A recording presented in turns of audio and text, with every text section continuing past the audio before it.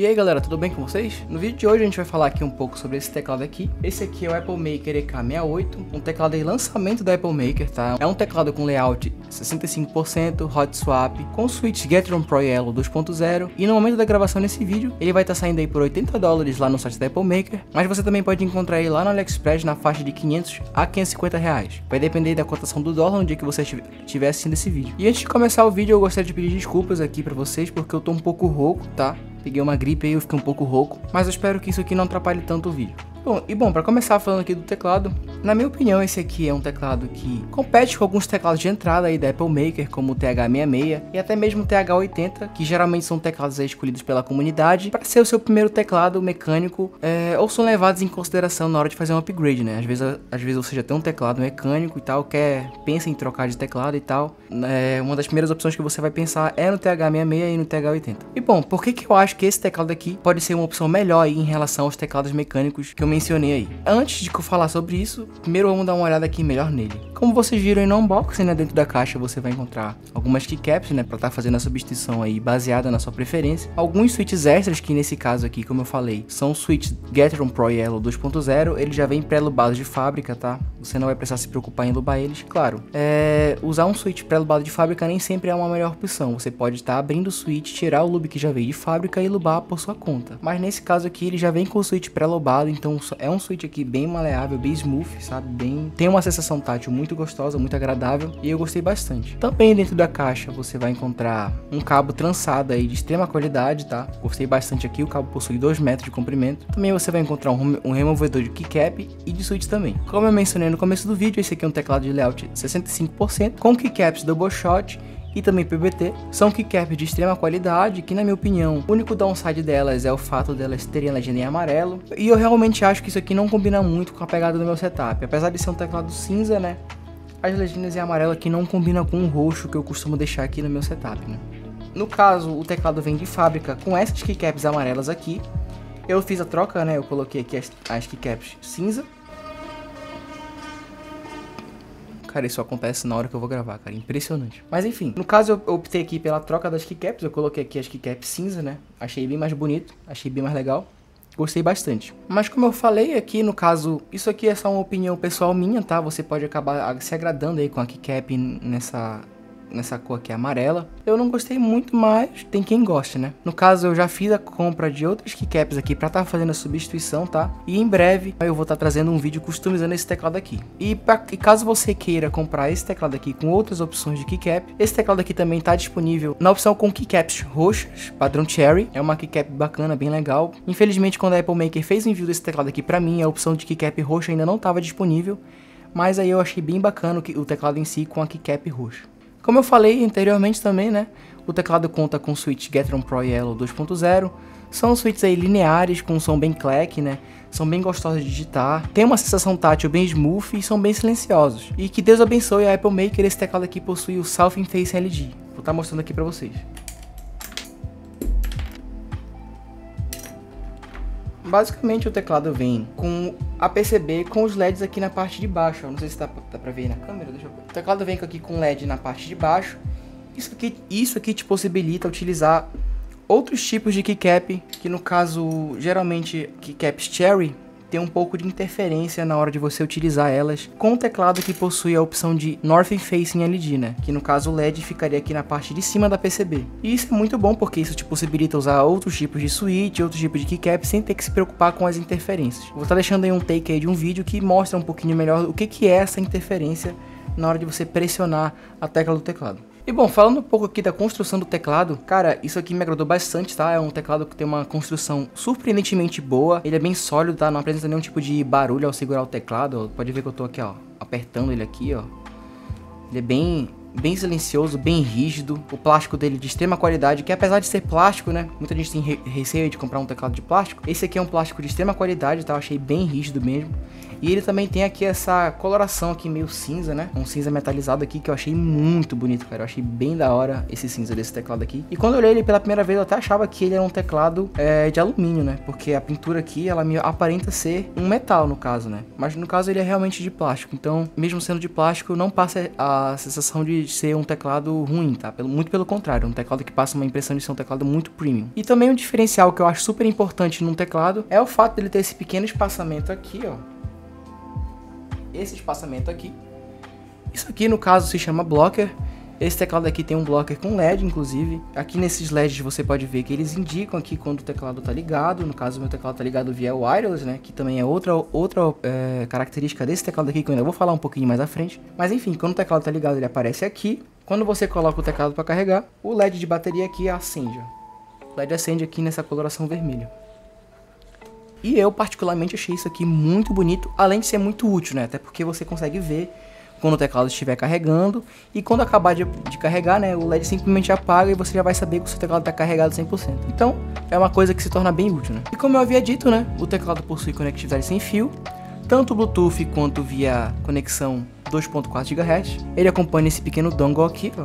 Esse donglezinho aqui é um dongle que te possibilita utilizar a conexão sem fio 2.4 GHz e que nos meus testes, cara, simplesmente uma conexão incrível, cara. Eu achei muito bom. Essa daqui é a primeira vez que eu, que eu testei um teclado sem fio com conexão 2.4 GHz e eu não senti nenhum tipo de atraso, nenhum tipo de delay. Inclusive, desde, desde que esse teclado chegou, a maior parte do meu tempo que eu utilizei ele foi com a conexão sem fio. E eu achei muito boa, tá? Eu achei bem da hora, eu achei bem bacana. Eu não senti nenhum tipo de atraso na hora de jogar nem, não senti nenhum tipo de atraso na hora de digitar com o teclado. E cara, eu recomendo aí, tá? Pra quem, tá, quem quiser comprar um teclado sem fio, né? Pela estética e tal. Achei muito da hora, essa aqui é uma opção que me agradou bastante. Eu não achava que teclado sem fio fosse tão bom, mas que no meu uso aqui eu achei bem da hora, inclusive recomendo. O teclado também acompanha esse 9, tá? Que dá um, um, toque assim que eu achei bem classudo pro teclado, né? É um toque bem bacana esteticamente. Esse aqui é o knob, aqui você aumenta, aqui você diminui, né? Apertando aqui você vai mutar o, o volume do Windows. E, cara, realmente é uma excelente adição ao teclado, né? E o, e o visual do teclado em si, a estética, além de servir para diminuir e aumentar o volume, né? Faz com que ele se torne útil e bonito, né? Na minha opinião, eu achei bem interessante. Eu nunca tive nenhum teclado com knob. Esse aqui é o primeiro teclado que eu utilizo com knob. E realmente, na hora de você estar tá em cal aí e tal, você quer mutar para ouvir alguma coisa. Às vezes a mãe chega no quarto e tal, vai falar com você. Daí você só aperta aqui no botão, pronto, mutou. Você já vai, já vai passar aí a não ouvir absolutamente nada. O knob também é feito em metal. Ele é bem sólido, tá? Ele tem os passamentos bem definidos. Esse aqui é o knob, eu acabei de tirar aqui, ele é removível. O knob é removível, como vocês viram aí. É... Como eu disse, ele, ele tem passamentos bem definidos, é muito gostoso de ficar girando ele aqui também. eu achei bem engraçado isso. Basicamente, é um teclado bem da hora, tá? Tem muitas opções aqui. Inclusive, quando você abre o teclado, você vê por dentro que ele é um teclado gasket, tá? Vai ter uma espuma entre a PCB e a plate também, para estar tá melhorando aí o som do teclado. E também vai ter uma camada de espuma que fica por debaixo da PCB para estar tá tirando aí um pouco do, da parte oca do teclado. Porém, mesmo o teclado sendo gasket, ele não apresenta muito, muito flex ao apertar o teclado. Ó, vou estar tá fazendo um teste aqui para vocês. Eu não sei se vai dar para pegar na câmera, mas pode ver que o teclado não se mexe tanto. É um teclado um pouco rígido. Mesmo sendo gasket, eu senti como se o gasket não fosse muito bem implementado aqui nesse teclado. Porque alguns teclados gasket, eles acabam tendo um flex, né, um bounce bem maior do que esse aqui. Porém, é, isso pode ser bom para algumas pessoas, né, porque tem gente que não gosta de teclado com, com layout gasket, né prefere um teclado aí mais rígido, mais fixo na hora de digitar. Mas para o pessoal que está procurando um teclado que seja um pouco mais bounce, não vai encontrar isso aqui nele, infelizmente. E o que eu acho muito bacana nesse teclado aqui é que ele tem muitas opções de customização, o que pode ser bom para algumas pessoas, né, que procuram um teclado com um som mais presente, né, ou até mesmo um typing feeling mais satisfatório. E agora, um breve teste de digitação aqui do teclado completamente estoque.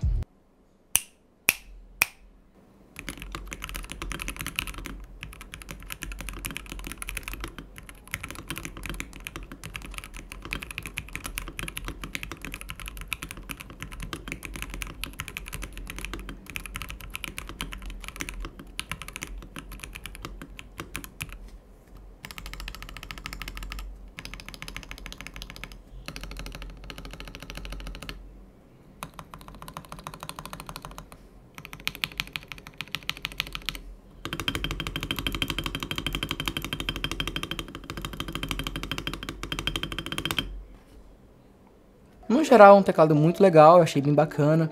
Mas nem tudo são flores, por ser um teclado pré-montado, como qualquer outro teclado. As stabs tem um pouco de ticks nela, tá? É um som bem notável. Quando você clica aqui, ó, ela tem um pouco de ticking. Não sei se vai dar pra ouvir no microfone, porque tá um pouco distante, mas eu acho que vocês deram, deu pra perceber na hora, da, na hora que eu fiz o typing test. Porém, mesmo tendo isso, esse problema aqui, é algo que é super fácil de ser resolvido. Você pode facilmente aí ejetar um pouquinho de lube nelas, até mesmo sem precisar abrir o teclado por completo. Mas caso você prefira, né, caso você queira uma stab melhor e tal, né, você pode tirar as stabs e modelas de sua preferência. Coisa que eu vou estar tá fazendo aqui no próximo vídeo que eu for fazer desse teclado. Vou estar tá abrindo ele aqui, customizando, modific modificando algumas coisas e tal. E é isso, basicamente é isso. E por último, outro ponto negativo desse teclado aqui, como eu falei, é a função gasket desse teclado aqui. Ela não serve de muita coisa, é, ela não tem muito aquela sensação de bounce, né? Eu já expliquei isso pra vocês. Mas pelo menos a sensação de digitar desse teclado aqui é bem prazerosa. Eu não senti que isso me atrapalhou em nenhum sentido. Então, isso aqui não acaba sendo algo que vá fazer você comprar ou não um teclado, tá?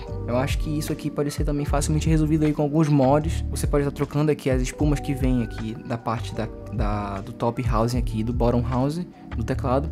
Aí já vai estar tá melhorando um pouquinho o bounce do teclado, provavelmente ele vai ficar um pouco mais suave, um pouco mais com essa sensação aqui do teclado que se mexe. Então, voltando ao assunto inicial do vídeo, por que, que eu acho que esse teclado aqui é uma opção melhor do que os outros que eu citei lá no começo do vídeo, como o TH66 e o TH80? Bom, eu acho que o ponto principal desse teclado aqui é o preço. Como eu disse, o teclado custa 80 dólares lá no site da Apple Maker. E no AliExpress você consegue encontrar ele lá pelos 500, 550 reais. Sendo assim, é um preço muito semelhante em relação aos outros teclados citados. Que no caso são teclados que, na minha concepção, precisam de um pouco mais de atenção. Ou um pouco mais de esforço aí para vocês estarem fazendo com que eles tenham um som mais agradável. E uma sensação de digitar um pouco mais prazerosa. Ao contrário desse aqui, que de fábrica ele já vem com alguns mods. Com mais espumas entre a PCB e a plate, né? A espuma que fica por debaixo da PCB. Além de contar com switches e stabs pré-lubados, que com um pouquinho de atenção podem, podem soar um pouco melhor do que eles já soam, então você não precisa se esforçar tanto para fazer com que esse teclado tenha um bom som, porque ele já vem com bastante mods de fábrica e, e pelo preço eu acho isso aqui muito válido. E futuramente, como eu havia dito, eu pretendo voltar a trazer esse teclado aqui no canal, fazendo algumas alterações aí, mudando as keycaps, fazendo que,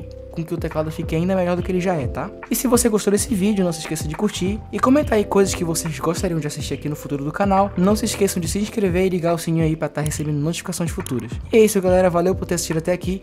Muito obrigado e até o próximo vídeo. Fui!